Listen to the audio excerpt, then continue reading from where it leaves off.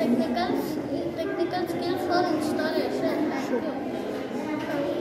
The rainwater collected in the terrace goes to the filter tank, and the filter ha- tank has five layers of stones, coconut husk, charcoal, sand, and filter cloth.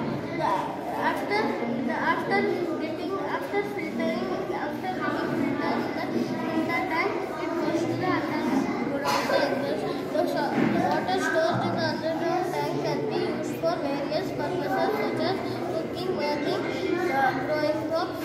Thank you.